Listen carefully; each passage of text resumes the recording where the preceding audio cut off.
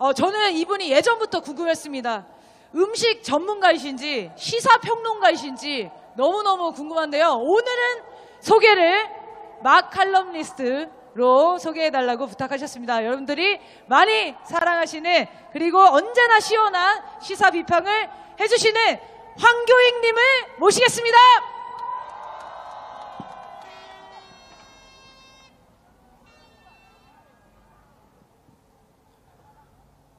반갑습니다.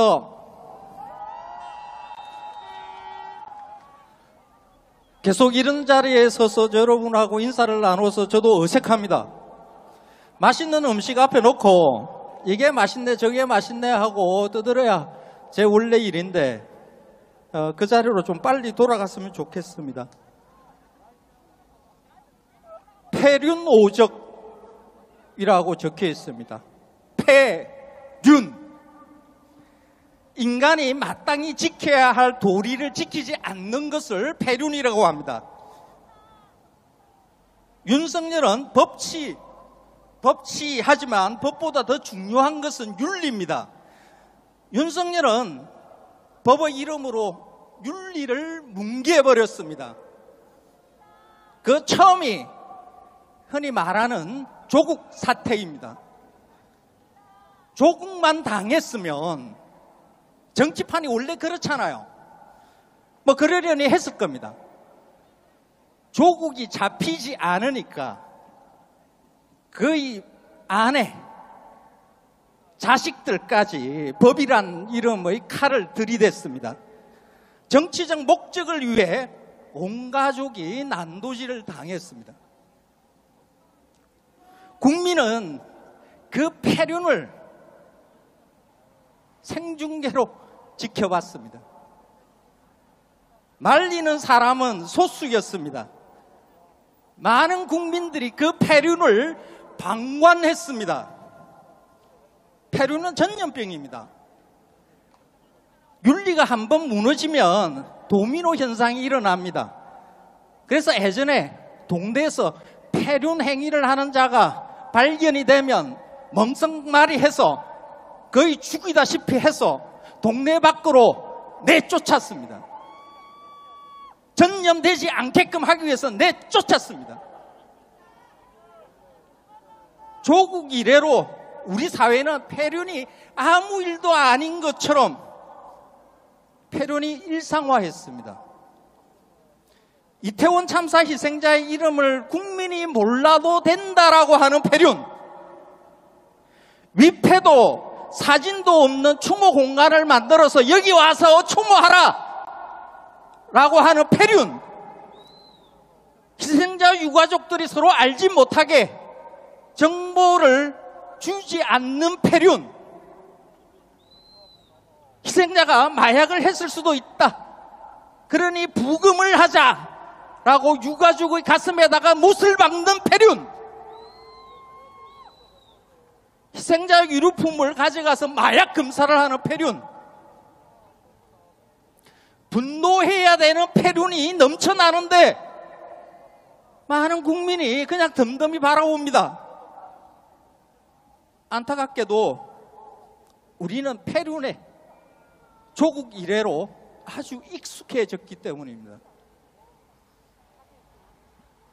사람의 도리를 지키며 산다는 것이 이 대한민국에서는 정말 힘들다라는 게 우리의 불행입니다. 대한민국 국민 여러분들 굉장히 불행한 국민입니다. 윤석열이가 무너뜨린 윤리 기준을 맞춰서 제가 윤석열에게 한마디 하고 이 자리에서 내려가겠습니다.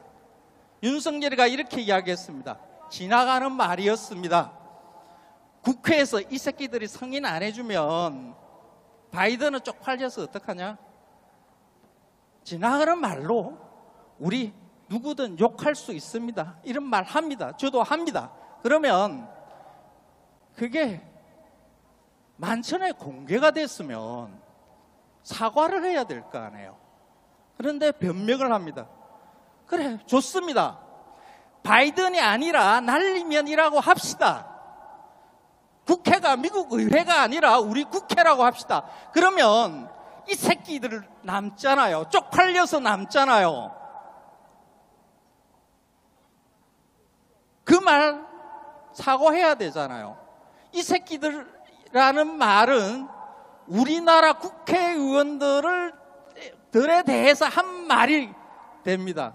국회에서 윤석열에게 사과하라 라고 했는데 사과 안 했습니다.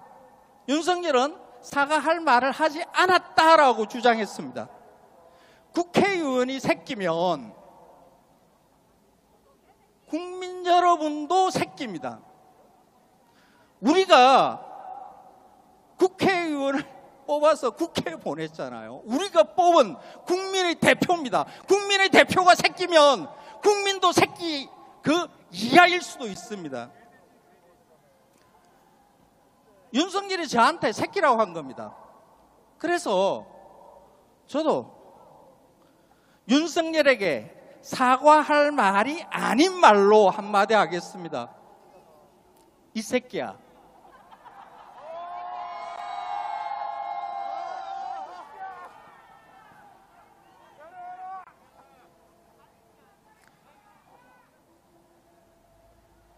국민인데 정치인한테 이 새끼야라는 말을 듣고 살아야 되겠습니까?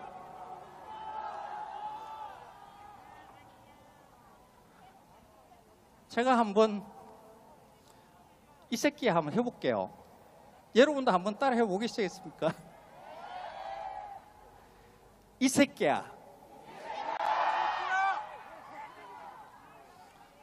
쪽팔립니다.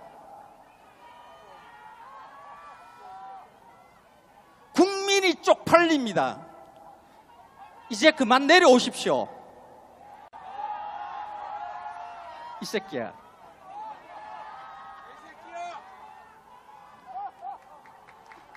네, 우리 황교익, 황교익 선생님한테 다시 한번 큰 박수 부탁드리겠습니다. 네, 임팩트 있게 마지막에 욕을 때리고 내려가셨네요. 네, 글도 정말 잘 쓰시는데 말씀도 너무 잘하시네요. 그렇죠? 다음 집회 때도 또 모시도록 하겠습니다.